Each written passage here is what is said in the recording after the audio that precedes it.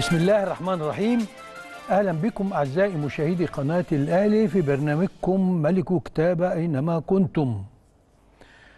ضربة مرزبة ولا 100 دقه شاكوش. إبراهيم. أهلا بك يا باشمهندس أهلا بكم أعزائي المشاهدين وموعد يتجدد معكم في الحلقة 788 من ملك وكتابه لقاء الخميس اللي جاي في وقت الأهلي عريس ومحتفل بكل أفراحه وفجأة المهندس عدلي ضرب مرزبه و100 شاكوش ليه؟ بص ما يحدث على الساحة العربيه آه. حتى في كرة السلة أيوه. داخل الملعب. آه. وخارج الملعب من جماهيره ده بيدي ثم بطولة كرة اليد داخل الملعب وخارج الملعب من اللعيبة والجماهير. ما بيقولش غير كلمة واحدة بس أنه أهل المواعيد الكبرى. امم يعني الضربة اللي بيضربها هي اللي بتسيب بصمة. سوبر أفريقي يكسب أبطال تونس الاثنين الأفريقي والتراجي اللي هو كسب بطولة أفريقيا ويصبح النادي في كرة اليد اليوم هو النادي العربي والإفريقي الوحيد اللي مرتين في النسخة القديمة والنسخة الجديدة يصل إلى المربع آه، الذهبي في النسخة القدي- القديمة. 2007 ويستضيفها يحصل على الميدالية الفضية. اليوم يصعد المربع الذهبي ليلتقي ببطل العالم السابق ماجدبرج. آه، ملحمة بكل المقاييس ولكن هنناقش موضوع الجماهير ده لأنه أجمل ما في الأمر. ده كمان دي لحظة المواعيد الكبرى زي ما المهندس عدلي أشار. النهاردة الأهلي في إنجاز كبير جدا بيتأهل لنصف نهائي كأس العالم لكرة اليد بالسعودية.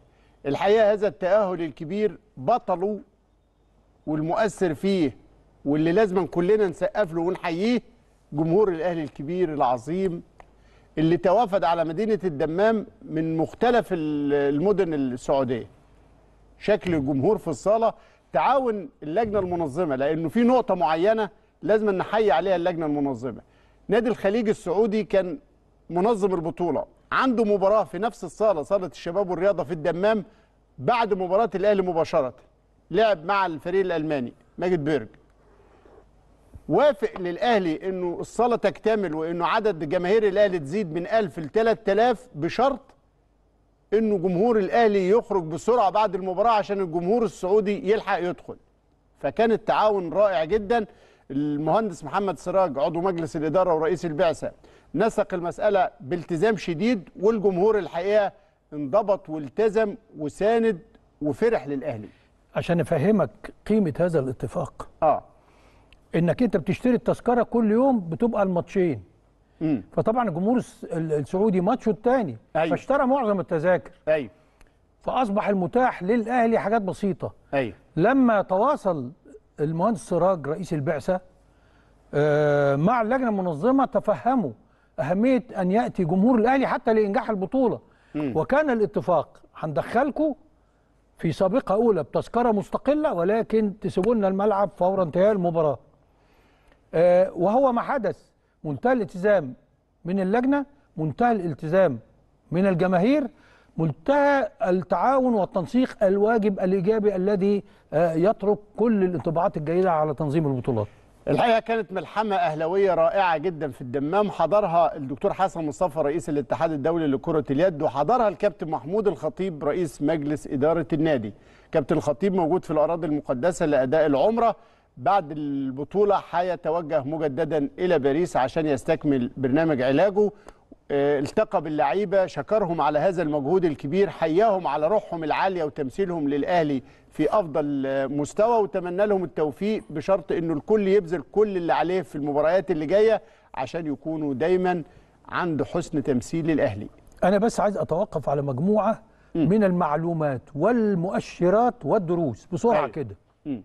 الأهلي قد سافر إلى هذه البطولة دون دعم. امم الأهلي سافر إلى هذه البطولة من غير جهازه الفني الجديد بجهاز مؤقت أيوة. من الكابتن محمد إبراهيم في أول تجربة تدريبية له والكابتن أحمد سالم وهم كباتن النادي الأهلي العظام. آه، آه، مش بس ما دعمش ده أصيب واحد من أهم النجوم الصاعدة والمواهب الصاعدة في كرة اليد قبل أيام مع المنتخب الأولمبي اللي قلنا لهم سيبوا لعبتنا. فاتعور مهاب الذي كان نجم الفريق الأول في البطولة. الإفريقية.